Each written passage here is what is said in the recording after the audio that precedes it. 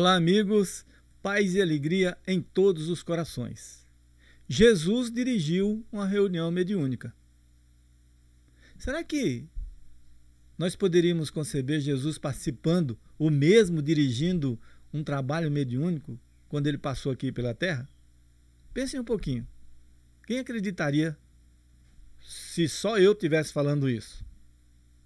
Mas, felizmente, não só sou eu.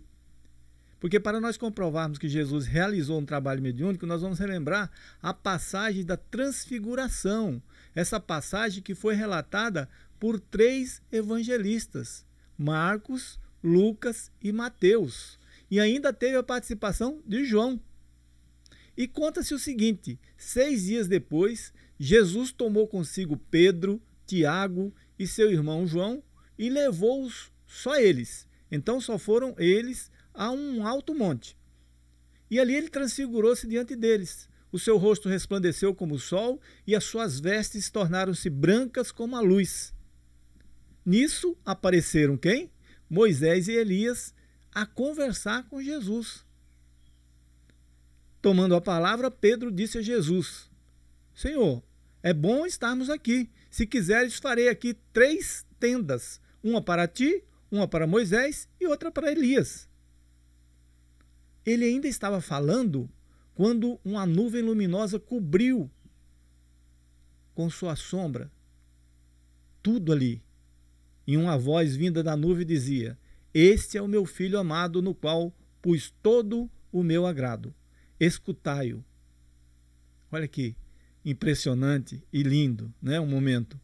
Ao ouvirem isso, os discípulos caíram com a face por terra, muito assustados. Aproximando-se deles, Jesus tocou-lhes, dizendo: Levantai-vos e, e não tenhais medo. Erguendo os olhos, os discípulos apenas viram Jesus e mais ninguém. Enquanto eles desciam do monte, Jesus ordenou-lhes: Não conteis a ninguém o que acabaste de ver, até que o filho do homem ressuscite dos mortos. Muito bem, passagem ali ficou entre eles. Mas Marcos relata sobre a vinda de Elias. O que quer dizer essa vinda de Elias? Que os discípulos fizeram a Jesus essa pergunta. Então, por que, por que, que é que os doutores da lei dizem que Elias há de vir primeiro? Por quê? Porque existia em todos os ensinamentos das profecias que antes de o filho do homem renascer, o Cristo renascer, o Messias renascer, Elias teria que voltar. E eles não tinham visto Elias, é claro. E Jesus fala: Eu, porém, vos digo: Elias já veio e não o reconheceram. Trataram como quiseram e também assim hão de fazer sofrer o filho do homem. O que, que aconteceu? Os discípulos compreenderam que Jesus estava se referindo a João Batista. Está claramente isso em qualquer Bíblia que a gente pega. E o que, que a gente observa nessa passagem? Que Jesus se transfigura diante dos três discípulos, ou seja, o seu rosto resplandeceu como o sol e as suas vestes tornaram-se brancas como a luz, e surge diante deles as figuras de Moisés e, as figuras, e a figura de Elias.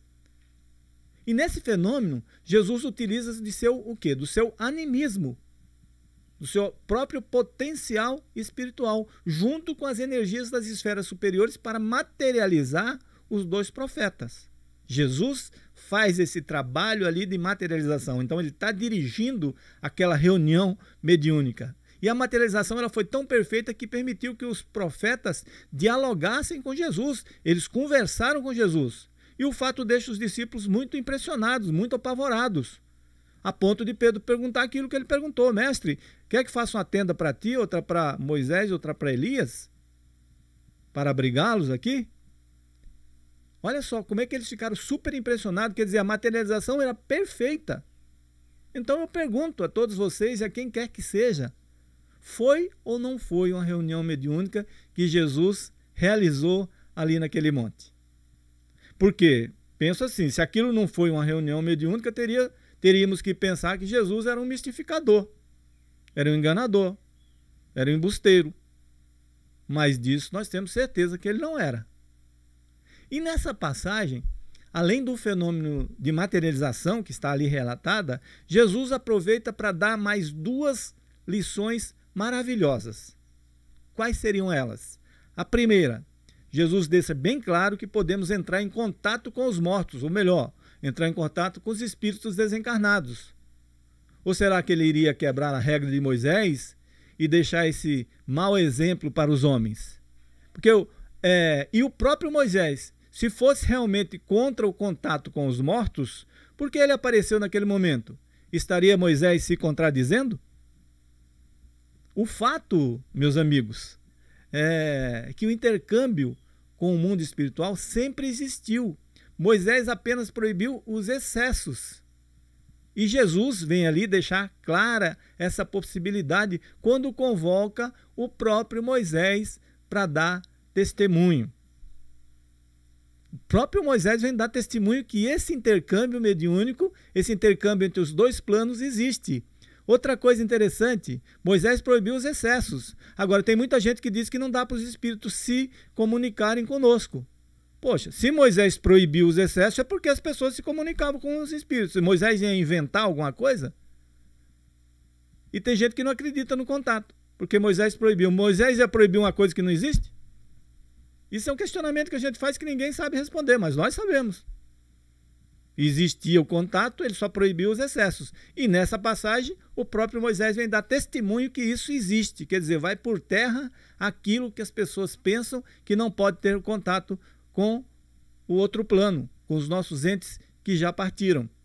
E a segunda lição, Jesus apresenta claramente mais uma vez a realidade da reencarnação justamente quando os discípulos questionam quanto à materialização de Elias, pois era sabido que antes do Cristo nascer, o Filho de Deus nascer e vir à Terra, era necessário que Elias viesse primeiro, como nós já falamos agora há pouco. E eles não tinham visto Elias retornar, ninguém tinha visto Elias. Então, como que eles poderiam ter certeza que Jesus era o Filho de Deus mesmo, era o Messias, se Elias já não tinha aparecido, não tinha nascido? E diante desse questionamento, Jesus informa que Elias já tinha vindo e não o reconheceram. Antes fizeram com ele tudo o que quiseram, e assim também iam fazer com ele, com o filho do homem, maltratá-lo, vilipendiá-lo, matá-lo, fazer tudo o que aconteceu. E essa passagem, maravilhosamente também, termina com os discípulos entendendo perfeitamente que Jesus estava falando de João Batista. Ou seja, Concluindo, João Batista era Elias reencarnado. É, de uma coisa nós temos certeza: Jesus era a verdade e veio dar testemunho dessa verdade. Né? Esses ensinamentos estão inseridos na Bíblia.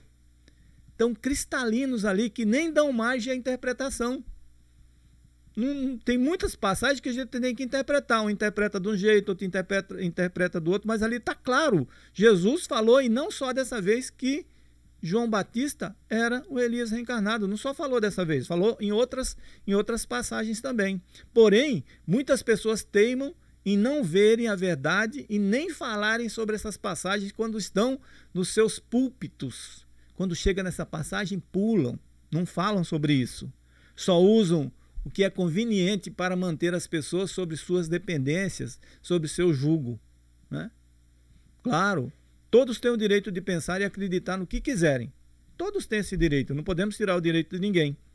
Mas como é que podem bradar aos quatro cantos que são cristãos, fiéis, e não aceitam essas verdades vindas do próprio Jesus?